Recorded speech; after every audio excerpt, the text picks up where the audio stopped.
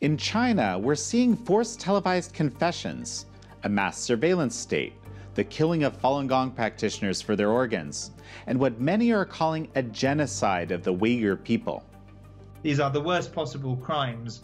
83 global brands, including major US companies, are tied to Uyghur forced labor in China. We've had our heads in the sand for too long. Over in Hong Kong, 53 pro democracy activists, lawmakers, and lawyers were arrested on January 6th under the draconian national security law. Today, there is no freedom in Hong Kong. Despite all this, the EU recently announced a major trade deal with China. Today, we sit down with human rights activist and writer Benedict Rogers, founder of Hong Kong Watch and deputy chair of the UK Conservative Party's Human Rights Commission. We discuss the Commission's new report, The Darkness Deepens. This is American Thought Leaders, and I'm Jan Jekielek. Benedict Rogers, it's so great to have you back on American Thought Leaders. Thank you. It's a great privilege to be with you again. Ben, you've put out this incredible report, The Darkness Deepens. Frankly, um, it's one of the most comprehensive reports on human rights uh, in China that I've come across. And this is a follow up from your report four years ago that the Conservative Party Human Rights Commission put out, uh, The Darkest Moment. Um, incredible work. I mean, that's for starters. That I, I, I have to say that. Um, why don't you tell me briefly what were the key, most important findings in your mind?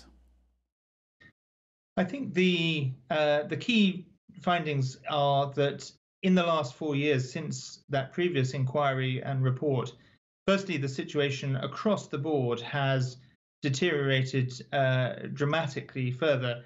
Uh, and I almost didn't think that was possible because, as you've just said, the report f- four years ago was called the darkest moment. In other words, the situation was pretty terrible then. Uh, but across the board, things have worsened significantly. Uh, we've seen the dismantling of, of democracy and freedoms in Hong Kong.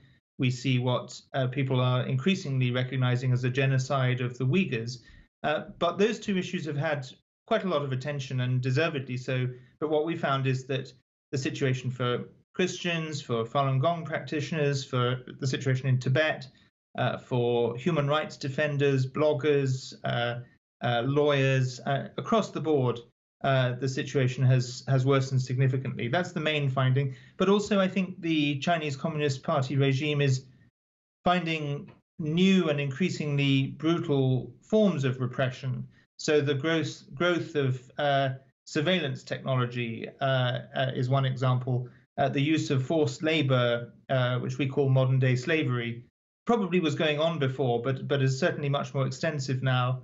and the use of forced televised confessions, uh, and the increasing number of arrests that of foreign nationals. So it shows that no one is safe uh, from from the long arm of the CCP. It's not just uh, nationals of of the PRC, but foreign nationals that have been arrested and are jailed, disappeared, uh, forced to confess on national television.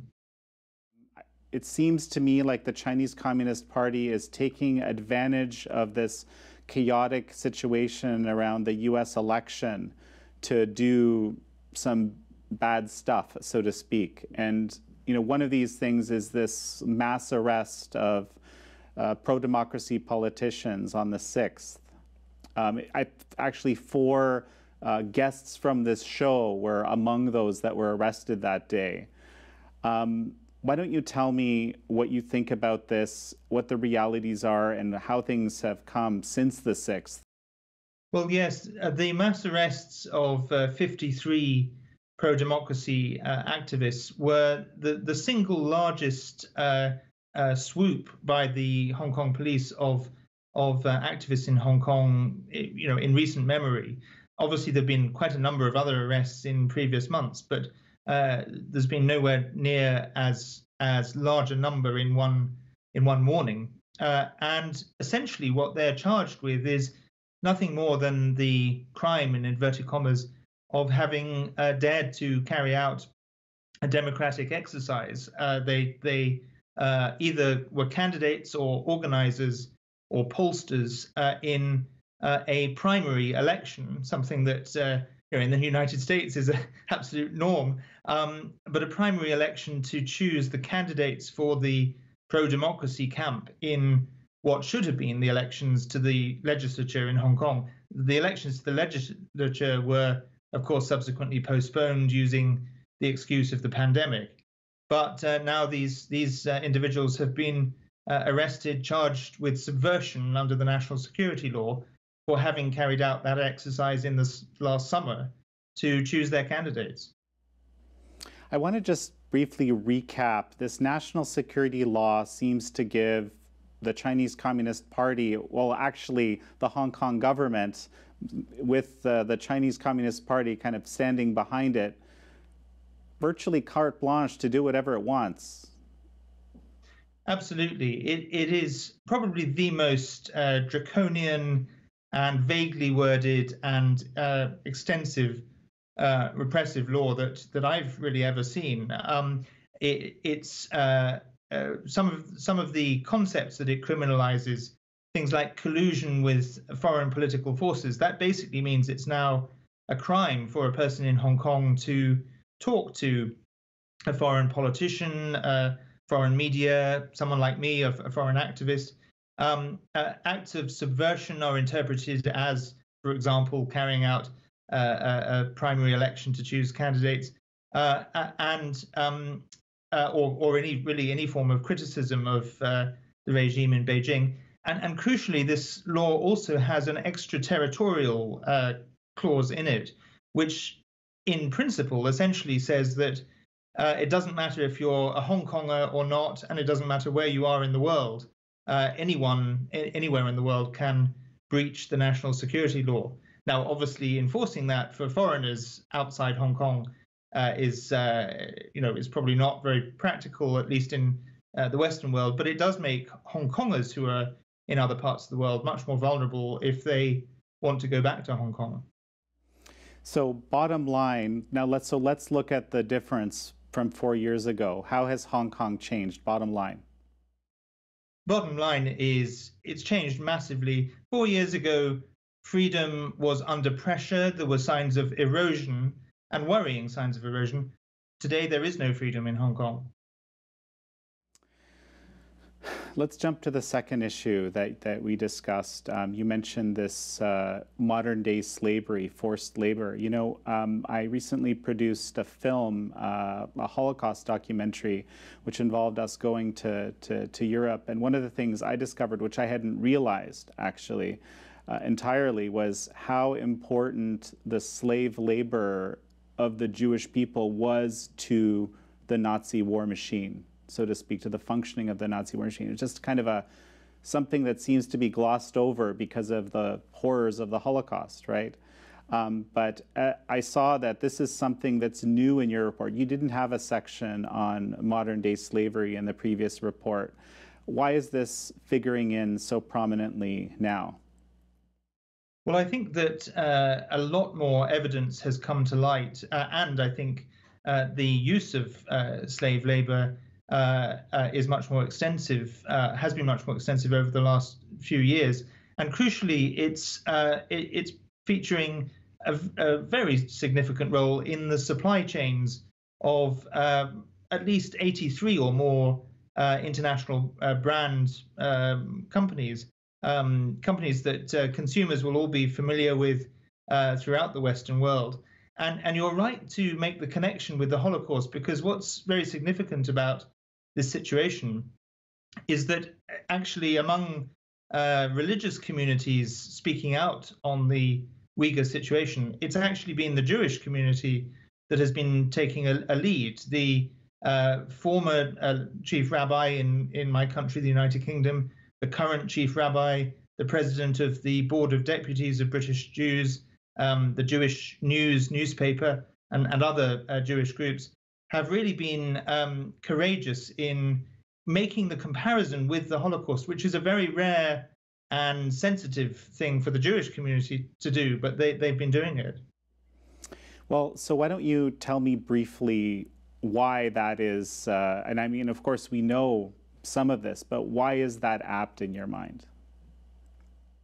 Well, I think it's uh, I think it's very apt because uh, all the or many of the hallmarks uh, of the Holocaust are there. Not not only the slave labor, but uh, uh, evidence of a campaign of forced sterilization, uh, scenes of people with their heads shaved being loaded onto trains, um, and of course the extensive concentration camps in the Xinjiang region, where it's said that at least a million, perhaps as many as three million, uh, are incarcerated, are uh, severely tortured, subjected to sexual violence uh, and and uh, other abuses. And so the parallels really are are there with uh, with things that we haven't seen on that scale for a very long time. Of course, we've seen sadly other genocides over the years and other mass plenty of other mass atrocities in different parts of the world but I don't think we've seen anything quite as extensive as this for, for a long time.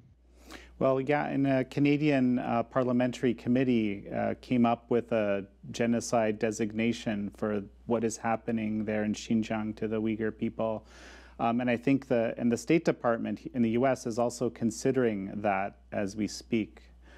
Um, something that comes to mind when it comes to Xinjiang is uh, I guess, the importance or the use of surveillance technology. Um, this is something that also figures prominently in your report. And again, this is something that I would love to, you know, compare today to four years ago, if you could actually, if you could do that, because it seems to be such a, well, I guess a central issue that might not necessarily be obvious uh, to people in playing a, a key role in this repression that we just discussed. Absolutely. I, I think that um, it was beginning to develop uh, a few years ago, but you're correct that it didn't really feature in our previous report, uh, and and that shows that it has rapidly developed in the last few years. Um, key to the development of this have been the Chinese uh, tech companies, uh, well-known brands like uh, Huawei and Hikvision, uh, that are directly complicit with creating this Orwellian surveillance state.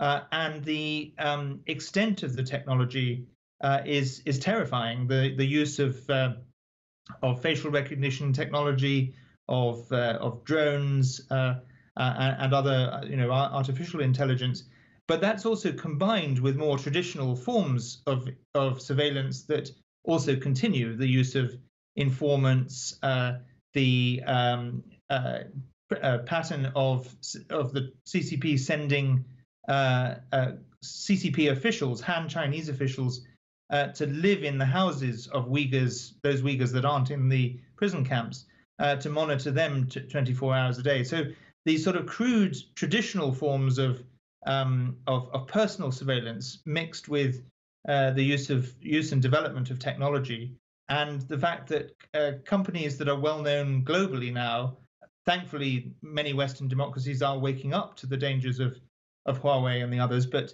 uh, there's many countries that haven't woken up to that. And we should uh, not forget that these companies are directly at the heart of this surveillance state. Well, and presumably this technology, uh, you know, whether it's Hikvision or Huawei, you know, it, it's not just deployed in China and presumably can be used exactly the same way elsewhere. That's exactly right. I mean, Firstly, uh, the regime is, of course, uh, uh, transferring this technology to other uh, brutal dictatorships. So that poses a danger in other repressive states. But of course, it can use that technology in Western free societies, and that poses a direct threat to, to, to our freedoms. You know, Ben, this is one of the things, and I, I asked this question of uh, uh, Secretary Pompeo in a recent interview um, and he was, you know, sort of more bullish on this than I am personally.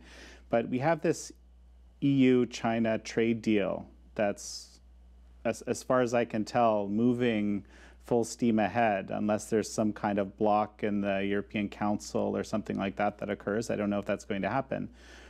And uh, with the knowledge that all of these realities are happening, and you know I, that that has me kind of scratching my head. How is how does this work, given you know even just the few realities that you laid out to me? Yeah, it, it has me scratching my head as well, particularly as um, the announcement came just a few days after the European Parliament passed a resolution uh, that called for uh, access to Xinjiang to inspect the camps. It called for sanctions, uh, targeted sanctions on those responsible for the uh, atrocities uh, uh, against the Uyghurs. and it called crucially for any um, further in investment deal to have protections for labor rights and, and labor standards. and just a few days later, the EU went ahead with this deal with none of those things. Um, and then, of course, uh, the other thing that happened just, I, I, forget the exact time frame, but just a matter of uh, days beforehand uh, uh was the, the uh, uh, arrest of the 53 in, in Hong Kong. So the, the general, and, and, and also it, it was a decision made when the US is in transition, and you would have thought the EU as an ally of the United States would would not sort of undermine either the relationship with the existing administration in its final days or undercut the uh, the new administration before it's had a chance to make its position clear. And so, for all those reasons, it was an extraordinary decision for the EU to rush into, and it's been roundly condemned by, uh, including by people like uh, Chris Patten, the last governor of Hong Kong, who is a former uh, uh, EU commissioner as well as being the last governor of Hong Kong. He, he's usually not a critic of the EU. He's he's one of the people in British politics who's you know who's very much a supporter of the EU, but he um, made comments that were uh, quite rightly extremely critical.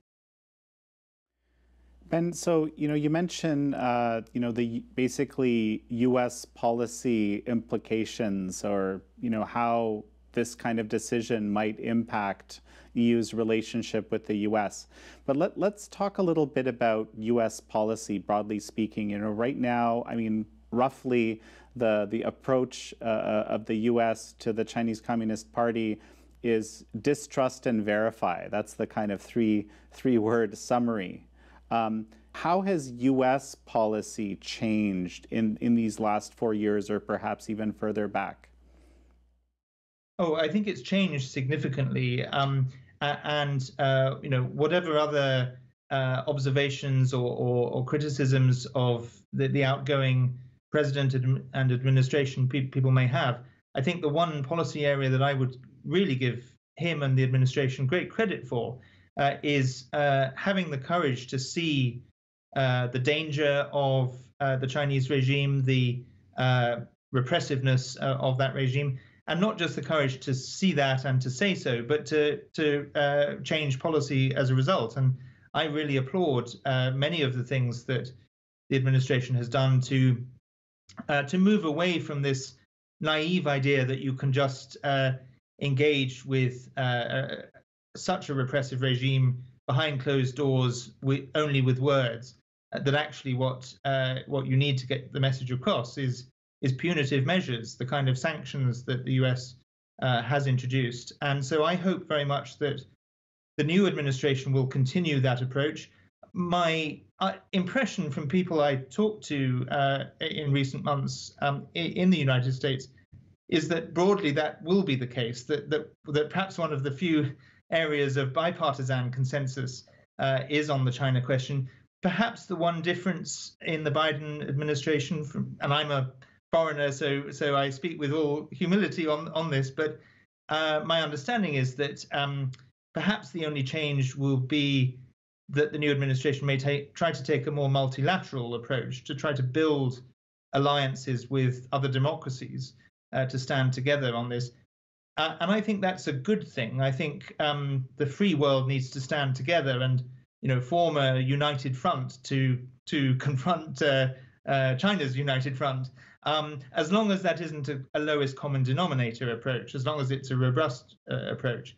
But, um, but, yeah, I think uh, policy has changed significantly in recent years in the United States, and it, it's starting to uh, in other parts of uh, the free world.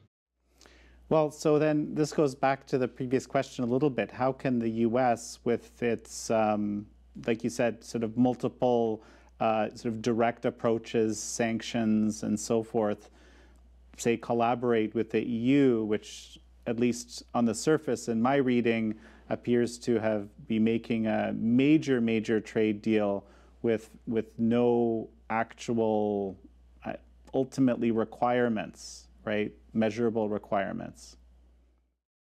Absolutely. Um, I mean, I think the trade, I think the deal um, certainly is a setback. Um, on the other hand, and, and it's a slightly confusing situation because around the same time as uh, this deal, just slightly before, uh, the European uh, Parliament um, voted on uh, legislation for, for targeted sanctions, what, what, what we might call Magnitsky style sanctions, not in application to China, but, but as a uh, piece of legislation in general that they can deploy uh, against any human rights abusing regime that meets the criteria. And so that's a very welcome step. And some of the statements that have come from some European leaders uh, have been much more robust in recent in, in, the last year than was the case previously. So I think there is common ground, and I think um, we need to find that common ground, uh, recognize you know our common values uh, of democracy and human rights, uh, and try to find a way to work together to defend those values. And you know, on this uh, sort of realm of uh, multilateralism, um, I just came across a report today. Uh, that reminded me that it appears that New Zealand is embracing the Belt and Road, China's Belt and Road Initiative and sort of, you know, I, I guess through that stepping away from, I mean, I don't know how else this would work, but traditional alliances even. Yes, I mean that's that's certainly very concerning, um, particularly at a time when when its near neighbour and close friend Australia is a taking a much more uh, robust position and b coming under uh, unprecedented pressure from China uh, for that. And I think one of the things we ought to be doing much more of is standing with each other when, uh, and particularly with with countries that are you know not, not as wealthy and influential as the United States, uh, standing with our allies when they come under pressure. So we ought to be uh, walking absolutely in lockstep with Australia, and it's unfortunate that New Zealand is uh, appears to be taking that uh, alternative position. So well, and something that's really important to both you and I, and this is something uh, actually that has been a centerpiece of the uh, US policy over the last four years, is this question of freedom of belief, uh, freedom of religion. I think you described in the report as freedom of religion and belief. I, I'm not sure the exact distinction, but okay. Um, you describe this having basically gotten much, much worse uh, over the last four years. Um, we, you've described the Uyghur situation. Tell, can you expand on this a little bit? Um, this is, uh, yeah, Im very important to me personally. Absolutely. I, I, mean, there's no doubt that the situation across the board for uh, uh, freedom of religion uh, is is uh, has deteriorated and continues to deteriorate very significantly. I would say it's probably the worst time uh, for uh, religious freedom uh, since the Cultural Revolution. Um, and that's the case for, for Christians. Um, we see uh, uh, you know, growing numbers of churches over the last few years being destroyed, crosses torn down, in some cases even churches you know, blown up, dynam- dynamited. Um, and even the state-approved, state-controlled churches are, in some cases, have been closed or destroyed. In other cases, are coming under uh, intense uh, surveillance, uh, surveillance cameras at the altar, uh, recording every every worshipper that's there, the imposition of uh, CCP propaganda and portraits of uh, Xi Jinping and other leaders, um, alongside or in some cases even instead of religious I- imagery, um, prohibition on people under the age of 18 from going to places of worship uh, and uh, and the list goes on, and, and that's all in the context or in the with the backdrop of the Vatican having reached an agreement with uh, the Chinese regime um, in 2018, which it renewed last year, and that agreement was presumably designed to with the intention of improving the situation, but uh, the situation has has absolutely worsened. Uh, and then on top of that, um, the continued persecution of of Falun Gong practitioners, uh, intense re- repression in Tibet uh, of, of Tibetan Buddhism, um, and and even uh, you know Taoists and, and other Buddhists throughout the country. Some of their uh, uh, temples and places of, of of worship have also been uh, restricted or, or targeted. So it, it is across the board, and it and the other thing that also is important to say is that I think in the past, um, uh, certainly more before Xi Jinping, whilst the persecution of Falun Gong practitioners was certainly uh, directed at a national level uh, under Jiang Zemin. I think in the case of Christians, for example, a lot of it was left uh, to a to a provincial or local level. So you did see variations uh, depending on the attitude of the local authorities. There were national regulations, but they were implemented to you know some sometimes leniently, sometimes more harshly. So you could see in some parts of China at that time that um, gatherings of Christians could could take place as long as they weren't in huge numbers uh, and as long as they weren't regarded as a threat to the authorities. Uh, if the authorities were a bit more uh, lenient in their attitude. Today, uh, policy across the board is very much directed from the center. Um, Xi Jinping's taken part in a number of uh, conferences and meetings on religion policy, issued a number of directives and and speeches. So it's it, that hardline uh, centralized approach uh, has occurred under his leadership. Well, no, and it's very interesting. So, you know, we at the Epoch Times, we've kind of charted, I mean, over this last 21 years of the Falun Gong persecution, for example, how the technology has changed and, you know, using Falun Gong practitioners effectively as a kind of crucible for developing these technologies, which they then you know, applied full bore in Xinjiang and I, as I understand it, Tibet as well, to, to basically persecute these discrete geographical populations. That's right, uh, and but I think there's also signs that they're rolling that out uh, throughout the, the country. I mean, one of the people who gave evidence uh, to us for, for this inquiry uh, described Xinjiang as the as the laboratory uh, for uh, repressive surveillance. So yes, it's absolutely most uh, repressively uh, um, deployed in Xinjiang and in Tibet, but I think uh, it, that's with a view to rolling it out uh, th- throughout the country. And the person who who gave that evidence, he actually t- titled his submission to our inquiry um, "Virtual Gulag," and you know the meaning is is clear in both those words.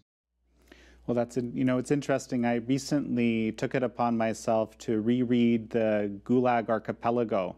Um, you know, I it, such an important work to understand the reality of communist regimes. This is now a little bit of my commentary, but as I'm as I'm reading it, I'm just seeing analogies. You know, not not even just in author you know in authoritarian regimes, but where you know things could be going the wrong way, even in democracies. Uh, absolutely, I think. Um, I, you know, technology brings so many benefits uh, to it. Uh, the ability to communicate ideas, uh, good ideas, um, uh, on on social media. The ability to use technology to uh, to try to track and and and constrain the virus during this pandemic. But equally, it can be hugely misused to to silence dissent and to uh, and and or to you know stir debate in in unhelpful ways. So um, it is a, a worrying time in that regard. Um, one of the sort of areas that you focus on in the report is the forced organ harvesting. Um, this murder for organs business in China for the uninitiated. We've talked about this before. It's something I've reported on since 2006, where we when we first realized that it was real and not, you know, the the crazy idea that it sounds like it should be. Um, how has our understanding of the reality of this murder for organs business in China changed over the last four years? I think it's changed quite significantly. Uh, when we carried out uh, our, our inquiry in 2016, uh, that was, I think, the first time that I was uh, presented with um, with detailed uh, evidence. Obviously, the evidence was there prior to that, but it was the first time I'd really encountered it. Um, uh, and uh, I would admit that I was probably myself. Um, I didn't dismiss it, but I was certainly a bit skeptical because the claims were so so shocking. Um, but the more I talked to people who who done expert uh, research uh, in this, the more credible I found them to be. Um, and so we, in our inquiry in 2016, after um, hearing it in our first inquiry, we then held a separate uh, second inquiry specifically on forced organ harvesting. Uh, we were, as a commission, convinced by what we heard and came out with a, a short report and, and started raising this with the British government and, and, and others.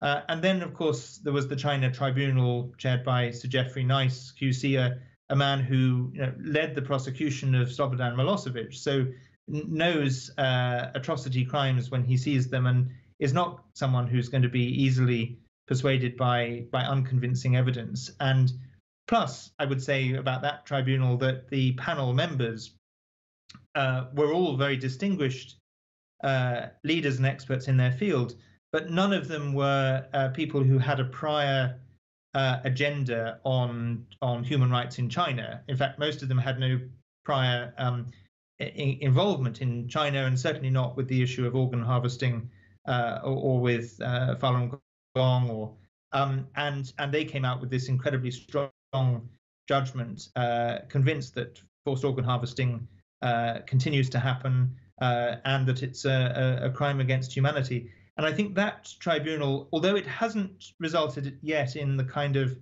policy change at a government level that I would hope still to see, I think it has changed the debate, and I think it's it's made it much harder for for skeptics to dismiss the claims. Um, and uh, we we uh, summarized the tribunal judgment in this latest report, uh, and uh, we'll continue to to call for uh, international action. And I, and I would say also the the growing evidence of forced organ harvesting, not only from Falun Gong practitioners but from Uyghurs uh, uh, and others. Uh, and I think all of that uh, strengthens the case and and makes it um, really irrefutable or or certainly uh, very difficult to refute if, for, for someone who's who's particularly skeptical. Well, and no, and I and I from reading in the report, and I didn't realize this earlier. I understand that Sir Geoffrey Nice, because of the, I guess, successful work of the China Tribunal, is now going to be convening a similar tribunal on the Uyghur question. Is that right? That's correct. Um, he's been uh, he's been uh, asked uh, by uh, the the the Uyghur community to carry that out to to address specifically the question uh, of whether what's happening amounts to genocide, um, because increasingly people are saying that it is. But again, as with the forced organ harvesting issue, you know there are skeptics, um, and in a way that's understandable because genocide is a extremely strong and a and a very specific legal term. Uh, and so, although I think the indicators of genocide are pretty substantial, um, it's very welcome that a a group of legal experts are going to look at it and, and answer the question from a, a legal point of view. Well, you know, I'm just remembering from reading the China Tribunal report, they were looking at the question of whether this forced organ harvesting uh, constitutes a genocide against Falun Gong practitioners. They concluded, uh, well, not it, not necessarily because there's this huge profit motive, right? Because of the scale of the harvesting and the you know it makes it a billion dollar industry. And just this this juxtaposition I, I i quite didn't know what i should think at this moment because you know what what what do you say to that? Well it's almost genocide but because of the profit motive it's not just pure wholesale destruction.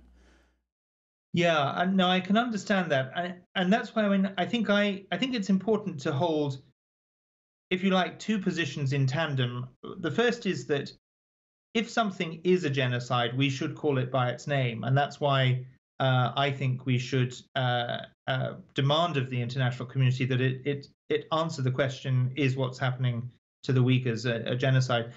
But on the other hand, any any legal judgment that says, well, perhaps it's not quite a genocide in, in legal terms, certainly doesn't excuse uh, uh, us from recognizing it as a, a, a extremely a set of extremely egregious, grave atrocity crimes, uh, and you know crimes against humanity uh, uh, is probably the the other uh, term that one should use in, in international law. So so um, you know if, if if a genocide determination in legal terms isn't made, that certainly shouldn't let anyone off the hook. these are these are the worst possible crimes whatever name you give to them. But if they do meet the criteria of genocide, then we should name it as such. You know, I've, I, I have to talk about this. You know, I've avoided doing this uh, for years. Uh, I have a father-in-law that's a Holocaust survivor. Um, you know, as I said, we've, we've, we've made this film, actually, the film, the film about him and I'm aware of the sensitivities of the issue of the Holocaust. But the more I think about the Chinese communist regime, there's just there's just so many parallels to the realities of the Nazi Nazi regime, including you know all these Western companies working with that regime, you know, back in the 30s and 40s, uh, and frankly through the war even. Um, this is a touchy area. Uh, I don't know if you want to comment on this. Well, I think um, I think I'd make two two comments. Um, I, I, think there are certainly parallels with uh, the Nazi period, but there are equally parallels, of course, with uh, the, the, with the Soviet era, especially Stalin and Stalin's Gulag. Um, so I think we should be careful uh, about aligning it uh, to to one particular uh, um, horrific, re- re- repressive uh, dictatorship in, in time when it has parallels with, with a number of them. But where I think the analogy is particularly uh, strong, and you've you've said this, uh, is the the complicity of Western companies, which you didn't have with the Soviet Union. You didn't have, uh, and in fact, um, there was a debate about a year ago um, uh, that uh, was introduced in the British Parliament by um, Iain Duncan Smith, the uh, former leader of the Conservative Party, in fact has endorsed our report uh, and has been very outspoken on these issues. Uh, and uh, and he made the point that um, that actually, you know, if, if would would we have uh, uh, would if we knew that um, at the time in the Holocaust that German corporations were providing the the cameras or the uh, fencing or the um, you know other equipment in in in Auschwitz, would we be doing business with them? Um, well, we probably were, but I'm not sure we would have been if we'd been been more conscious at the time. And certainly, we we weren't doing that with uh, you know Soviet uh, companies that were building uh, Stalin's Gulag. So um, so I think that there is a parallel there, and um, and and that's where we need more pressure on Western corporations to make sure that they're well either to stop doing business with this regime or or at a minimum to make sure that their supply chains as far as possible you know are not uh, built on uh, slave labor uh, and and are not and that we're not using technology from these Chinese tech companies that are at the heart of the uh, Orwellian surveillance system. So, you know, Ben, you mentioned, you know, you're an advocate for uh, multilateralism, you know, basically working with some of these, uh, as I understand, you mean working with these, some of these international institutions and, you know, multiple countries working together to form this united front. Um, one of the things that's actually mentioned in your report, and I think is incredibly important, is the Chinese Communist Party's subversion of multilateral institutions, like you know multiple agencies of the UN. Certainly, you know um, right now, um, you know the China, China sitting on top of the UN Human Rights Council, which you know a lot of human rights uh, activists see as a complete affront to the to the organization. I mean, not the only not the only human rights abuser. I think there's there's there's many, many of them there. Um, tell me about this. How has China subverted the multilateral organizations? And I think you describe it as the rules based order in the world. And well, and then we'll, we can talk a bit more about what to do. Mm. Well, the, the, subversion is is certainly extensive. Um, it, uh, I don't have the figures to, to hand, but but uh, a significant number of Chinese uh, Communist Party officials have taken up key positions uh, in the UN bureaucracy, as well as uh, the things you, have already mentioned of uh, their seats on, on the Human Rights Council and their influence over the uh, World Health Organization. We've seen that in the course of the pandemic, uh, and and a number of other, uh, you know, even having within the period that we were carrying out this in, inquiry or the period that we were looking at, China had the the head of Interpol um, and then managed to dis- disappear the head of Interpol, um, which was quite an extraordinary thing. Um, so, so it's definitely extensive. Um, we've seen at the UN, for example, China's influence in being able to veto um, uh, uh, NGOs that it doesn't like, human rights organizations that it doesn't like, from having um, representative status at, at the UN. Uh, we've seen multiple times Chinese delegates at the Human Rights Council trying to uh, cut off or silence uh, human rights critics uh, during during the various dialogues that take place between NGOs and member states. Um, uh, we even see uh, you know intimidation at, at, the Human Rights Council of of China-focused human rights groups.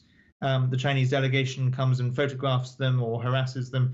So these things have been going on for some time. And uh, my own view is that um, is, is two things really.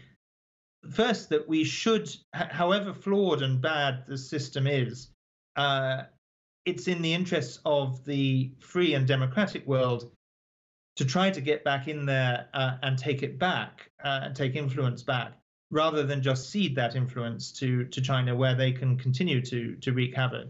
Um, that's not going to be easy, but I think it's worth trying. But the second thing I would say is that multilateralism um, uh, shouldn't be at the expense of unilateral action where that's necessary and justified and and the only option. So, in other words, I think I said earlier, it shouldn't be the lowest common denominator.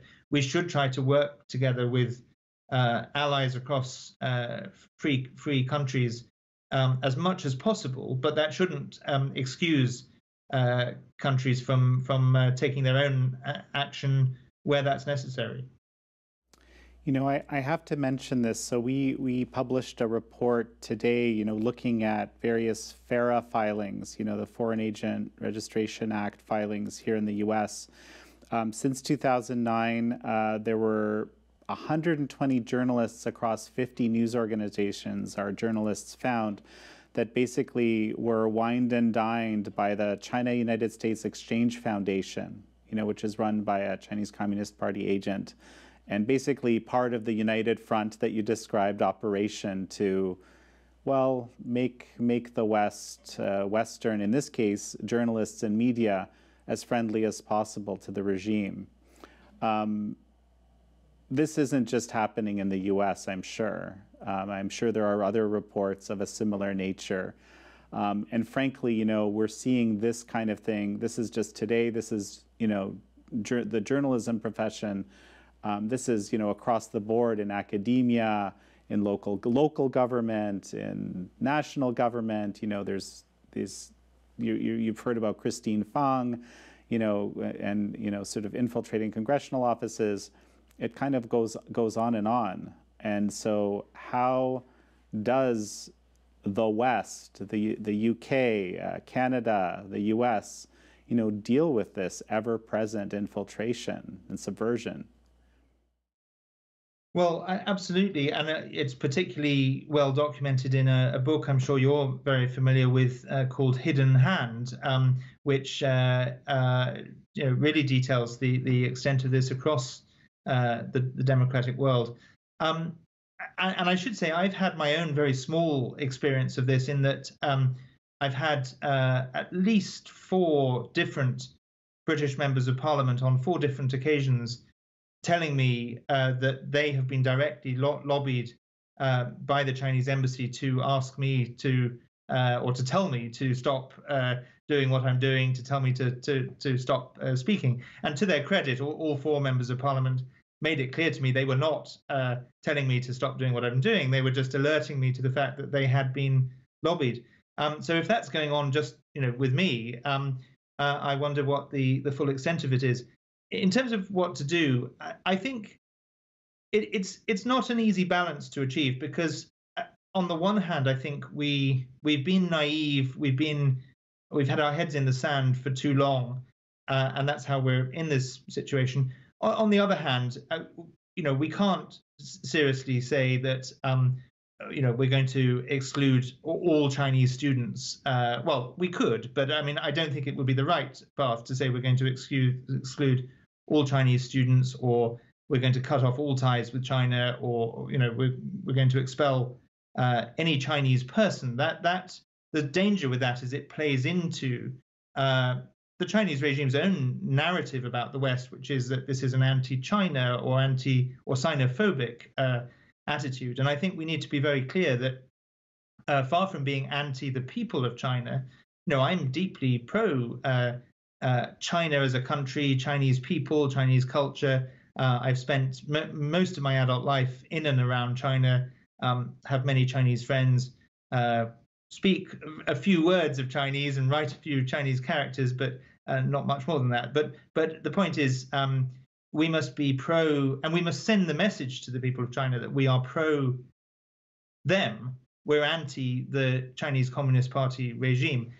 And so to get that message across and to get that balance, I think um, we, we need to navigate this quite carefully. I, I, I think that we should have we should look into uh, you know more stringent background checks, security checks. Um, we should uh, look at po- possibly uh, whether we have Chinese students in uh, studying in our universities who are studying certain um, disciplines that that could be advantageous to the Chinese state in you know in terms of technology and and, and so on. Uh, and crucially, we should look at um, uh, institutions like the Confucius Institutes uh, and uh, and other bodies that are part of the regime's propaganda apparatus. And any and we should stand up for our values in our uh, academic institutions and uh, and other bodies um, to say, okay, we'll we'll talk to uh, the Chinese, um, but we should not allow ourselves to be compromised by whether it's funding or entertainment or um, you know I I know um, people who who, who I, I, know one or two individuals who who who on other issues have taken a very in other parts of the world taken a very good and strong line on human rights, um, but who happen to have been given a an honorary professorship at Beijing University, and the moment they're given that, you know, their their ego is flattered, and and and they uh, and they lose all sense of uh, defending their their values. So so we need to be much more robust at resisting uh, those uh, sort of uh, temptations and and defend our, our values. Um, but uh, there's a lot of thought and detail that needs to go into how to navigate that balance and how to communicate that that message that we're we're for the people of China, but we we need to defend uh, our freedoms and national security and and stand up for for theirs uh, against the Chinese regime. Right, and I, I mean, I agree with you. I think this is an incredibly difficult question, and uh, I, I look forward to seeing, um, you know, policy with teeth, so to speak, being developed uh, further in you know in the UK and Canada. I hope in in in the US uh, ongoing. Now, so you mentioned the Hidden Hand. Um, uh, the publisher of the Hidden Hand is organizing a panel along with the one of uh, the think tanks that I often look to in Canada, the Macdonald Laurier Institute. You're going to be on it uh, tomorrow. Um, tell me about this panel. What are we going to see there? Well, it's a, um, a very uh, extensive panel looking at um, the whole question of, of human rights in China. It, it follows um, a panel that we had last September that looked specifically at Hong Kong.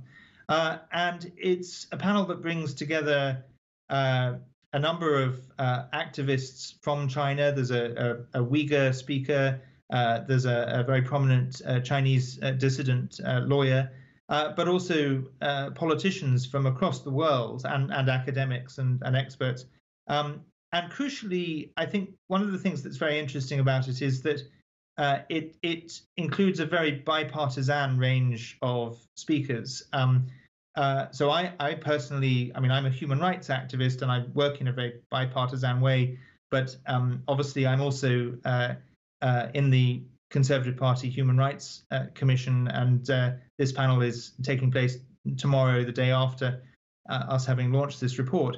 But on on the same panel are the leader of the German Green Party in the Euro- European Parliament, Reinhard Bütikofer uh, who's a tremendously vocal uh, and strong um, uh, advocate for human rights in, in China, uh, and the uh, Labour, the British Labour Party's shadow minister for Asia, Stephen Kinnock, um, who equally has been very courageous in, in, in speaking out on these issues, um, and Carolyn Bartholomew, who's Nancy Pelosi's former chief of staff and holds a, a key position in a Congressional Commission.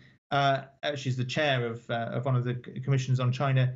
Um, so it really is a bipartisan mix, and I think I think that I think the bipartisan message and the uh, international or multilateral message are the two messages that that need to be heard in Beijing. But um, Beijing is not going to divide us, or shouldn't be able to divide us by country or by uh, political uh, preference. Um, uh, we all stand uh, on the side of freedom and, and, human rights. And if we can get that message across and use that platform to uh, to strengthen a, an alliance uh, across the free world to confront the growing danger of the CCP, then it will be a very valuable two-hour panel.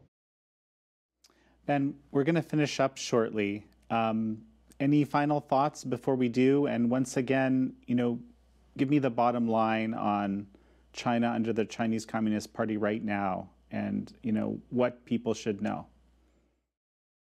Well, I think the the bottom line is that uh, China has gone significantly backwards uh, under Xi Jinping uh, in respect to to human rights. Uh, no one is safe in China now. Uh, uh, we see that with, I mean, even Jack Ma, um, we're not sure where he is and what's happened to him. And so, um, whereas 10 years ago, the Chinese Communist Party has always been, of course, very repressive, but 10, 20 years ago, uh, there were there was a degree of space. There, there were human rights lawyers who could take up human rights cases. Of course, they were were under pressure, but they they had a certain space to do what they did um, Christians had a certain space if they didn't uh, step over the, the line. Um, that space has gone now. Uh, the the the red lines that used to exist are, are uh, you know are no longer there. No, nobody has any freedom at all in in, in China, and I think uh, the free world needs to wake up to that. Um, and I hope that this report that we've published uh, will serve not just as a a, a wake up call and a set of recommendations for uh, the British government and and uh, politicians uh, here, uh, but actually for other governments as well. That it will uh, show that the repression is so comprehensive, so pervasive, uh, affecting everybody in China, and, not just affecting people in China, but affecting people beyond China's borders as well. And um, the sooner we we wake up to that, I think people are waking up to it but we need to act uh, uh, fast before it's too late. Um, final question: Why does it matter to the fella sitting, you know, watching in the UK, sitting watching in the U.S., sitting watching in Canada, that you know doesn't interact with China very much in any way? I think it matters in in a number of ways. First of all, do do you really want to be buying clothes or uh, cars that have parts in them or computers or, or telephones that have been made by uh, not just slave labor, but as we've talked in this program, people who are in a situation that has has parallels with the Holocaust. Do, do we really, if we know that's happening, uh, do we want to to be doing that? And I, I think most ordinary person in uh, anywhere in the free world would answer that question no. Of course, we want our clothes and our computers and, and so on, um, but we, we want them to be made uh, ethically and, and not by such horrific and extensive slave labor. Um, secondly, uh, uh, do we uh, do we want to defend uh, our freedoms? Do we believe in in our liberties? Uh, and if we do, then we need to recognise that they're threatened by this regime. Um, they're threatened by the regime most immediately by infiltration, by the use of technology and surveillance. Um, but further down the line, uh, if we don't stand up to what this regime is doing to the Uyghurs, uh, its dismantling of freedom in Hong Kong, its total breach of an international treaty in Hong Kong, if we allow them to get away with breaking international treaties with, with no uh, consequences, then not only is Taiwan going to be next, but after Taiwan, they're not going to stop there. And uh, for that reason, it's it's in our interest to stand up and again to make a to draw a parallel with the period of history that we've touched on a number of times.